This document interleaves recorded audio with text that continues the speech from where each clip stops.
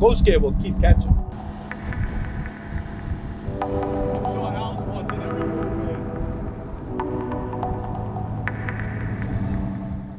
We are here on uh, Narragansett Bay, We're working with the Commercial Fisheries Research Foundation, doing a little um, ghost gear investigation.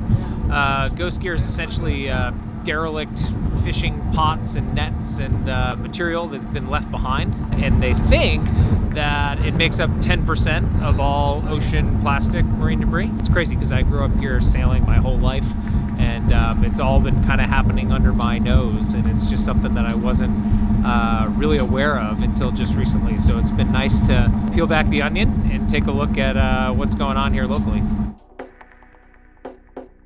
See if we can't catch something.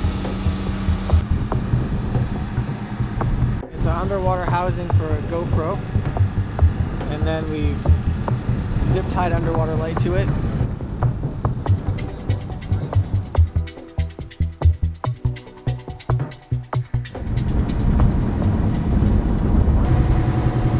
There you go. Okay. Yeah, not bad. John the captain the Christopher Andrew has incentive to remove ghost gear because it's coming up in his trawl paths.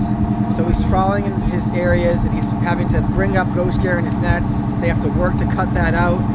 It's not really easy for them to bring it in. So what they do is they, they drop it off somewhere else, a pile, so we can remove that burden. Um, there's grounds that they won't tow it anymore because the gear is piled up there. And then the third reason is that it's impacting the animals potentially that they fish on. To use fishermen's knowledge to map where ghost gear is in the bay. And what they do for us is on a nautical chart, they circle an area and say, this is where we dump gear, this is where I've caught gear before. So what we were trying to do with this project is to get all that knowledge on a map and have a removal map basically. And then also try and see if we can focus those areas with camera work.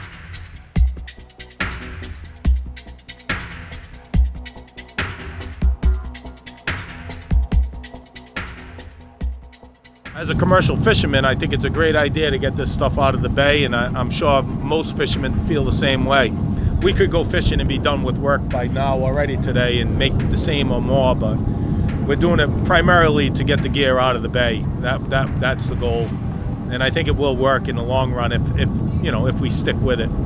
Just got to fine tune some stuff with the camera system and the grapple system. This is the first trip out, and I think it went all right for the first trip. We've seen the bugs that need to be worked out, and uh, it's a it's a very good idea for the bay uh, overall.